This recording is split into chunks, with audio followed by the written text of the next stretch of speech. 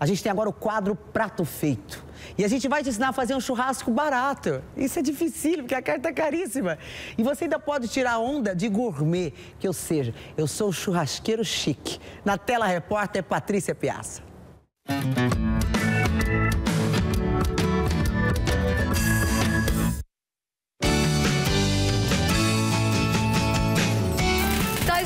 Barulhinho? É o carvão que já tá instalando ali, Marcão já tá dominando a churrasqueira, porque hoje tem churrasco, né, Marcão? Chega Isso aqui pra conversar Vamos lá. comigo. Olha só, tem churrasco e churrasco barato, né? Que é o que o pessoal tá querendo. Tá difícil fazer um churrasco pra, pra galera, né, Marcão? Exatamente, tem aumentado muito né, os valores da- das carnes, principalmente da carne, da carne vermelha, da carne de gado. Mas a gente trouxe algumas ideias aqui que dá para minimizar esse custo e também não deixar de fazer aquele tradicional churrasco. Agora, churrasco tem seus segredos, né? Todo mundo acha que é simples, só colocar a carne pra assar ali, mas não é não, né? Não, não é bem assim não. Tem alguns segredinhos que a gente vai tentar passar um pouquinho para vocês. Tô vendo que tem linguiça, já é um prato mais barato. Exatamente, é bem mais em conta. Aí a gente já agrega ele junto com o pão e já faz uma, uma especialidade, na verdade, da Argentina, que é o choripan. A gente vai ensinar a fazer alguns molhos também junto. E vamos fazer junto uma fraldinha também, que é um, corte hoje que está com um custo-benefício bem interessante. Hum, delícia, já deu água na boca, mas antes, confere os ingredientes. Para o choripan, vamos usar pão francês, linguiça toscana, fraldinha, molho chimichurri e mostarda. Para o creme de alho, vamos precisar de três dentes de alho, cheiro verde, um pote de maionese, um pouco de vinagre e creme de leite. Ah, e não dá para esquecer o sal, pode ser o grosso ou parrilha. Anotou aí? Então simbora, porque a gente vai começar aqui pelo choripan, que é nada mais que a linguiça ali no pão, mas de uma forma bem Exatamente. gourmetizada, né, É uma Marcão? bem linguiça, gostosa. é uma linguiça, na verdade, com um pão, de preferência pode ser o pão francês. Pode usar qualquer outro da, da sua preferência, mas eu acho que é mais prático também e mais econômico, né? Qual que é o primeiro passo? Você pode assar normalmente, porém a gente vai dar uma gourmetizada nela também aqui. Vai desconstruir ela. Vamos colocar aqui num, num bolzinho. Faz cortes ali na parte de Exatamente. cima. E espatifa, né? Desconstrui Espatifa. é espatifar aqui Exatamente a nossa isso. linguiça. Tira aqui de onde ela é embalada ali, da tripa. Isso, tira, tira da tripa e já vamos colocar no pãozinho aqui já. Como ela já vem temperada, aqui fica a critério de cada pessoa. Se a quiser jogar mais um temperinho. temperozinho, não vai mudar não. Isso na Só verdade... cuidado com o sal, né? Cuidado com o sal, porque ela já vem temperada, né? Então Uhum. não tem tanta necessidade de colocar sal, não, tá? Eu vou fazer da forma mais simples para todo mundo ver direitinho, tá? Simples e barata, que é o importante Exatamente. aqui pra gente. Pão Depois francês, disso, pãozinho francês. Bem prático. Corta de preferência, não pode ser qualquer outra faquinha de serra, que é é mais tranquilo, mais prático. Você vem aqui, só pega, super simples, ela vai assar dentro do pão mesmo. dentro do pão mesmo. Bacana. Só tem que tomar cuidado para não deixar ela uma- algumas partes maiores, né? Assim, mais, mais grossas.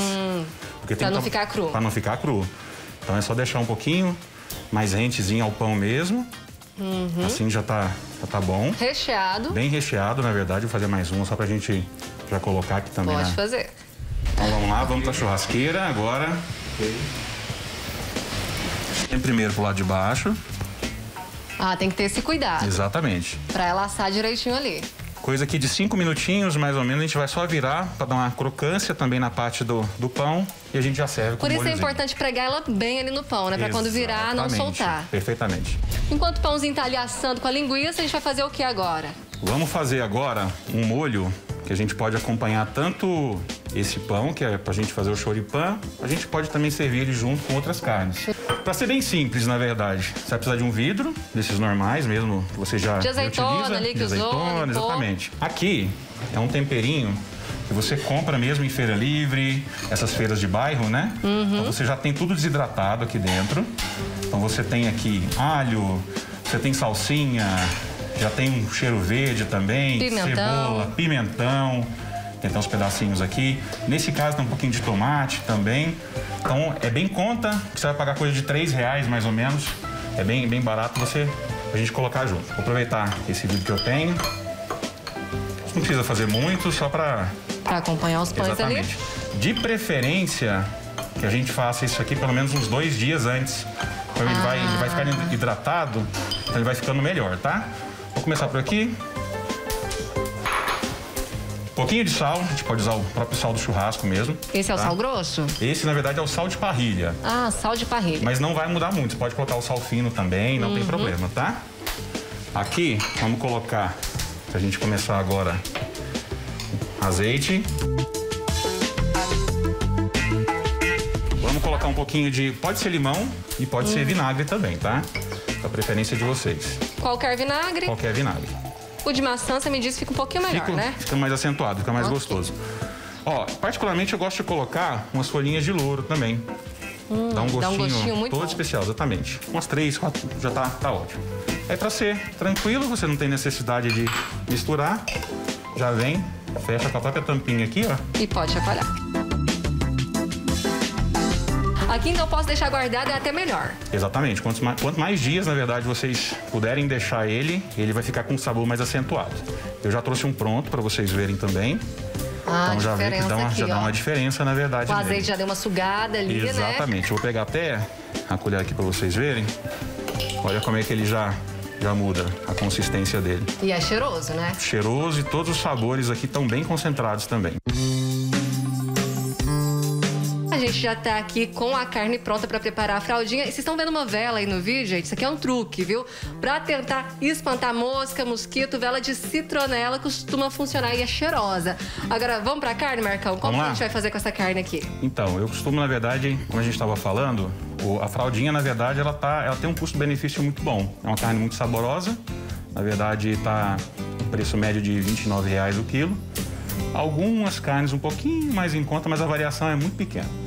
Então, acho que a gente, a gente fez uma boa escolha, uma carne saborosa que agrada o paladar praticamente todo mundo. A gente tem a linguiça que a gente já mostrou, tem frango, carne de porco, mas não tem jeito. O carro-chefe é a carne de vaca, Sem né? E se dúvida. quer fazer um churrasco ali mais em conta, a fraldinha pode ser uma boa pedida. Exato. Como que a gente começa por essa carne? Então, aqui na verdade também não tem muito segredo. O que vai mudar na verdade é de cada churrasqueiro, de cada pessoa que vai estar fazendo. Você pode salgar antes, você pode salgar depois. Particularmente, eu prefiro salgar depois, tá? Depois, põe ela primeiro pra assar, depois Primeiro. tá com sal. Exatamente. Legal, agora ela vai ter um molinho também, né? Vai ter um molho também. Aquele molho que nós fizemos agora recente, que foi o do chimichurri, a gente pode colocar tanto ele, a gente pode fazer um outro molho que eu vou ensinar daqui a pouquinho também.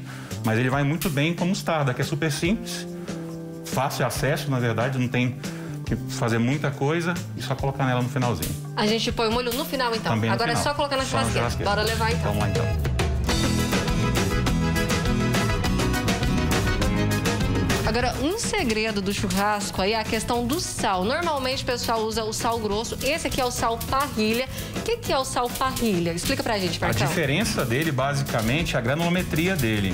Ele é um pouquinho mais fino em relação. Ele, tá, ele não é um sal fino, mas também não é o sal grosso. Por isso permite ser colocado ao final. Exatamente. Agora, se fosse sal grosso. Aí você tem que colocar sempre no começo.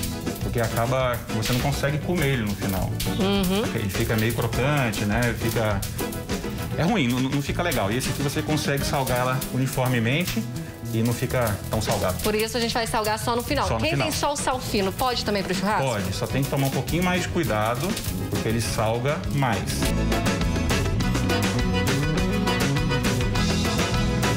A fraldinha tá no fogo, enquanto isso, nosso choripã ficou pronto aqui, assadinho. Agora é só finalizar, Marcão? Só finalizar agora, a gente vai usar aquele molho que a gente ensinou no começo. Eu tô usando já aquele prontinho que a gente tem, que já tá mais concentrado os sabores.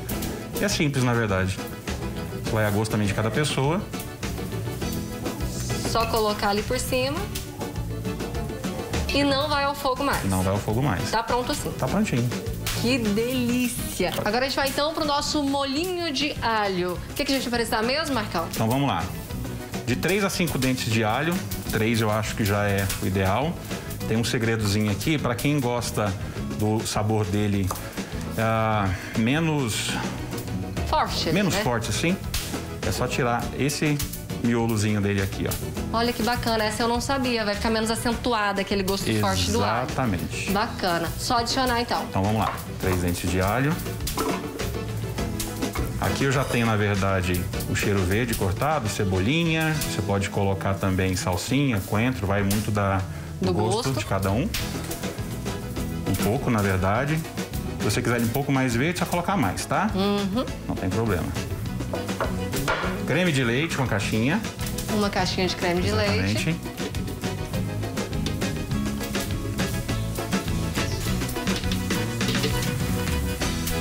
E a maionese. Perfeito. Agora é só bater. Pode bater.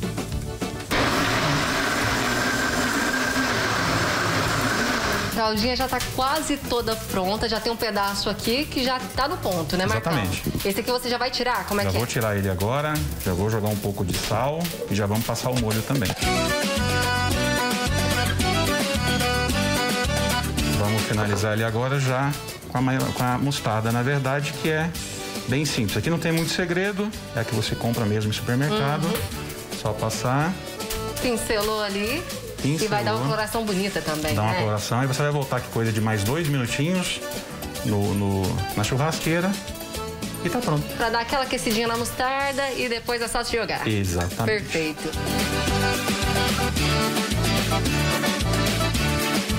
A fraldinha com mostarda ela já ficou pronta. E o Marcão tava mostrando aqui a questão do corte. Tem segredo? Porque parece que dependendo do jeito que corta, a carne fica dura, né? Não fica Tem. legal. Como que é? Algumas carnes, na verdade, você tem que cortar ela contra a fibra, a fibra, né?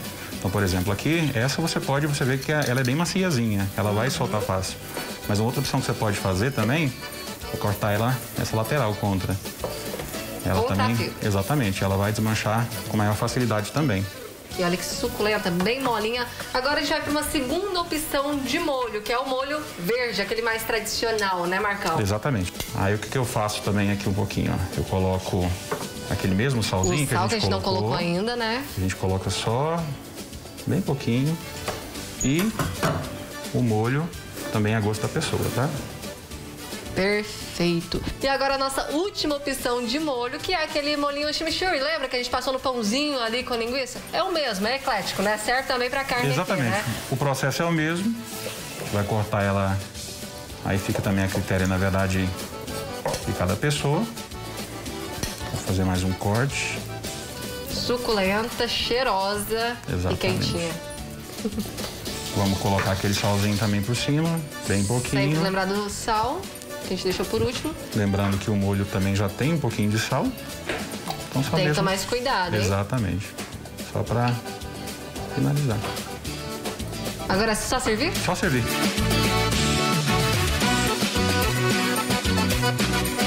Churrasco pronto, já sabe como fazer pra agradar a família no fim de semana. A pandemia não tá podendo reunir muita gente, mas dá pra fazer ali pro pessoal de casa, né? E uma dica legal também, no pãozinho aqui, no nosso churipã, dá pra poder incrementar se quiser, né, Marcão? Dá, dá sim. Você De que pode, forma? Além da, da linguiça desconstruída que a gente colocou aqui, você pode colocar uma fatia de mussarela entre o pão e a linguiça também, que dá.